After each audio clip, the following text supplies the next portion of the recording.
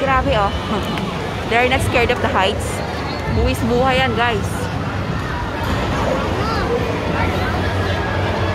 Sa bagay may harness naman kaso lang, kung ako ang gagawa nito, hindi ako titingin sa baba. Ayay! Nakakatakot!